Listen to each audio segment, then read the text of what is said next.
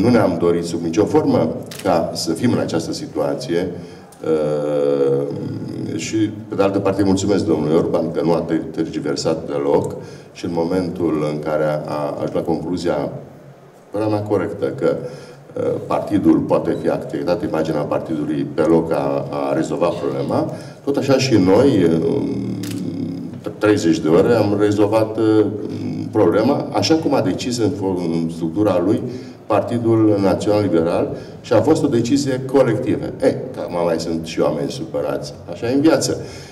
Noi, până la urmă, aveam candidat și din interiorul partidului și ați văzut lucrurile astea publice. Dar decizia a fost totul să ne orientăm spre libertatea societății civile.